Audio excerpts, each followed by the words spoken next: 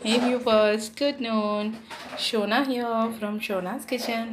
Friends आज मैं आपसे शेयर करूँगी मखमली पनीर की रेसिपी मखमली पनीर के लिए हमने लिया है पनीर बटर फ्रेश क्रीम कस्तूरी मेथी नमक onion paste around two onions मैंने लिए हैं फोर टमाटोज शाही पनीर मसाला ज़रूरी नहीं आप शाही पनीर ही लो अगर आपके पास और कोई मसाला है तो आप वो भी यूज़ कर सकते हैं इसमें मैंने लिया है red chili powder coriander powder जीरा powder pinch of turmeric and garam masala here is our cube onions one onion one small size tomato मैंने पल्प निकाल लिया है जस्ट हार्ड पार्ट उसका रखा है हाफ़ कैप्सिकम वो सब बॉक्स पीसेस में कट कर लिया है मैंने.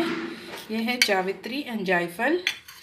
ग्रेवी काजू मैंने पानी में भिगो के रखे हैं, उसका हम पेस्ट बनाएँगे, इसका भी पाउडर बनाएँगे. थोड़ा सा दूध भी रखा है। चलिए अब हम ग्रेवी बनाना स्टार्ट करते हैं, फ्रेंड्स। फ्रेंड्स, अब मैंने दो पैन रेडी किए हैं। इसमें तेल डाला है और इसमें थोड़ा सा बटर डाला है। बटर वाले पैन में हमने जो क्यूब्स वेजिटेबल्स कट किए हुए हैं, वो मैं ऐड करूँगी। एंड ये कढ़ाई में ऑनियन की पेस्ट इसे हम दो मिनट के लिए शैलो फ्राई करेंगे, फिर प्लेट में निकाल लेंगे। और इसमें मैंने ऐड की है ऑनियन पेस्ट इसे हम अच्छा सा पिंक होने देंगे फ्रेंड्स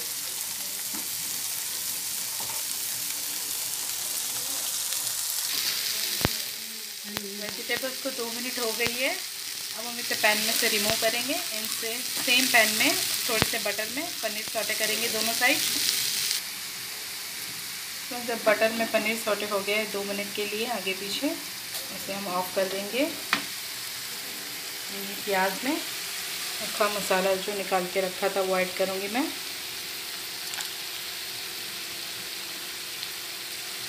तो दो मिनट हो जाएगा, फिर ये मसाला ऐड करूँगी। सब अच्छे से मिलाएँगे, और इसमें मैं ऐड करूँगी शाही पनीर मसाला। कोई भी मसाला यूज़ कर सकते हैं फ्रेंड्स सबको अच्छे से मिला के दो मिनट स्लो में हम पकाएँगे, जब तक तेल ना छूटे इसमें से। तो इसमें मैंने ऐड किया है tomato puree and salt it's time to add जावित्री एंड जायफल उसका जो क्रश करके रखा हुआ है पाउडर या तो क्रश करके रखे आप। कैश्यू पेस्ट भी ऐड कर दी और सबको अच्छे से मिलाएँगे। इसमें ऐड किया है फ्रेश क्रीम एंड दूध। इसमें मैंने ऐड किया है कस्तूरी मेथी। एंड एक चम्मच जितनी शुगर ग्रेवी ऑलमोस्ट रेडी है.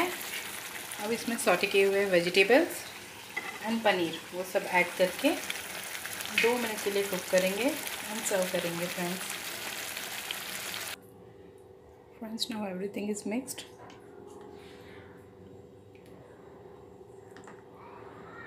हमारा मखमली पनीर ऑलमोस्ट रेडी है फ्रेंड्स इसे दो मिनट कुक करके मैं आपको सर्विंग प्लेट में निकाल के बताती हूँ।